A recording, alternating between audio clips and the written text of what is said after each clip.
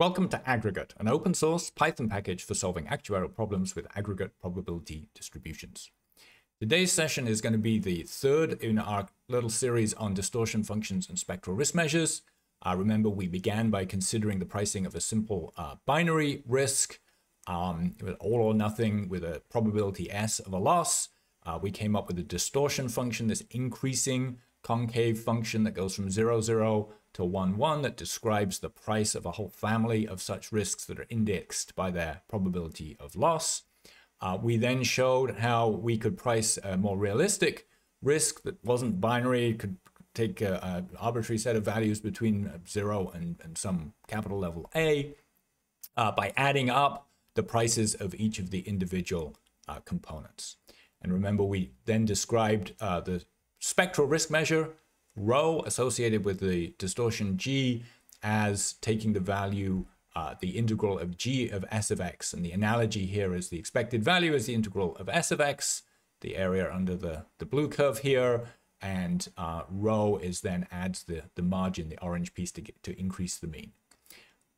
So I want to go through in detail how uh, to actually implement that um, algorithm using um, aggregate and then try and show you sort of a little bit behind the scenes of you know exactly how it's going on. So you could you could even make a, a spreadsheet version of it if you chose. The algorithm input is um, a discrete random variable taking values xj with probability pj. And then we've got our distortion function g and our associated spectral risk measure. And remember we're trying to compute uh, the integral of g of s of x. Or alternatively uh, we're trying to compute the integral of x g prime s of x f of x. So this, this piece here will be our adjusted uh, probabilities. The algorithm steps uh, are to, uh, first of all, add, if there isn't a zero in here to start with, add a zero uh, with probability zero if you're adding it.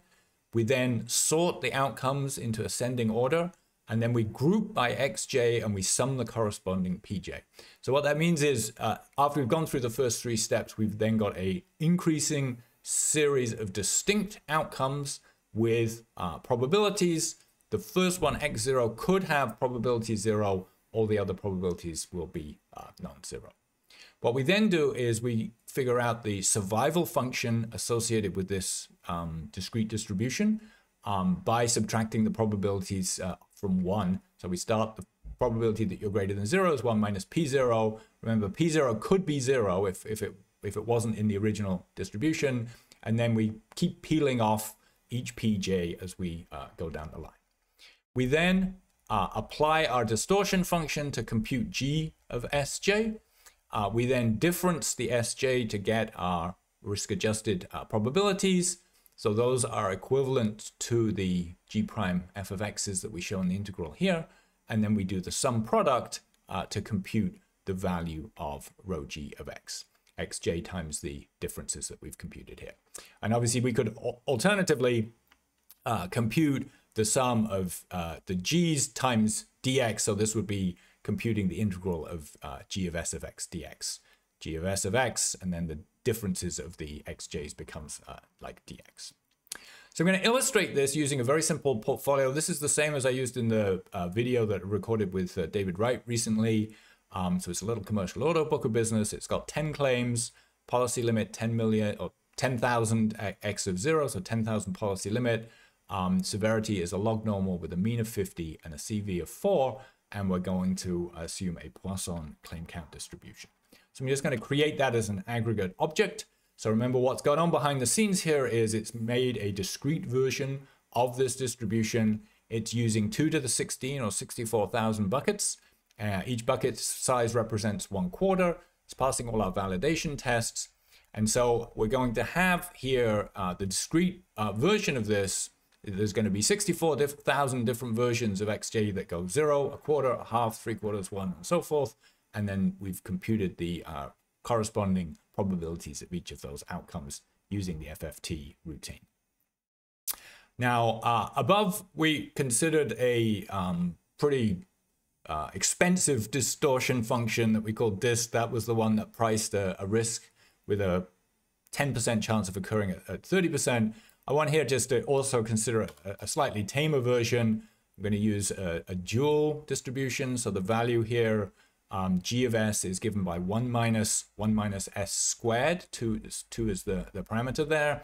Um, just to remind you, the uh, distortion that we had before was a proportional hazard uh, square root. And you can see these two are sort of symmetrically different, right? This The proportional hazard here is charging more for tail risk on the uh, end, whereas the dual moment is more concerned about uh, the volatility risk uh, on the right there. So uh, we need to um, give, when we, we think about pricing here, we want to give a, a level of capital that's going to be supporting this portfolio. Uh, I'm going to assume, since we wrote a, a 10,000 limit, that we've got 10,000 available to pay claims, and we will uh, use a um, capital standard um, that uh, gives us that. The, the corresponding probability value of that, the chances the loss is greater than 10,000 is about uh, four, three and a bit basis points there. So to price this risk at uh, this capital level with this distortion, uh, we price, uh, we pass the regulatory uh, probability level and the distortion into the price method of the aggregate object, and it returns a little data frame here with eight uh, variables that we should look at. Uh, the loss, which is the limited expected value of the distribution at the 10,000 uh, capital level for 97.8. So that's slightly less than the unlimited loss uh, 498 because there's a slight haircut. Um, the premium, 729.2. Uh, the margin, the difference between the premium and the loss. The assets are 10,000 because that's what we selected with our probability level. The uh, capital is, is very high, 9,200 of capital. Uh, the loss ratio, about 70%. Uh, the leverage is extremely low, right? It's about 8%. Um, and as a result, the ROE is very low. That's uh, 24.9 mil, so that's 2.5 um, percent. And we can look also at what would happen if we use the first distortion we were uh, looking at, the proportional hazard. And you can see that's going to be a lot more expensive. We've got a lot of tail capital here. And the tail capital, because this bulges out more on the left-hand end, is much more expensive under the proportional hazard. So we would expect the premium to be higher. And that's what we see. A premium uh, here is 1145, margin 647. Uh, the loss ratios drop down to uh, 43, 44%. Uh, the ROE is only uh, 7, 7% coming out of this. So I'm not suggesting this is reasonable uh, pricing for the portfolio. This is around the mechanics of how uh, this is going to work. You can also price using the distortion, a distortion function. So you can pass in essentially the information um, that the algorithm wants. So the X values and the probabilities.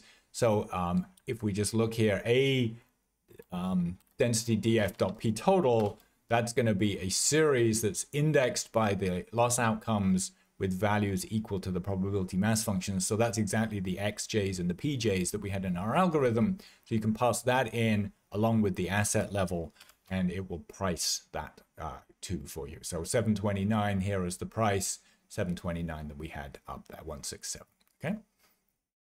So what exactly is it doing? It well, what it's doing is the algorithm steps that we laid out. So let's try and reproduce those as clearly as we can.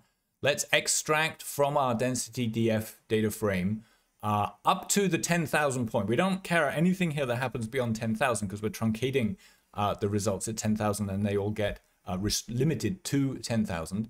Let's pull in the uh, p total and also the survival function s. And then let's just take a look at some uh, values out of that sub data frame. And I, I call that bit because it's a, a, bit of the density DF.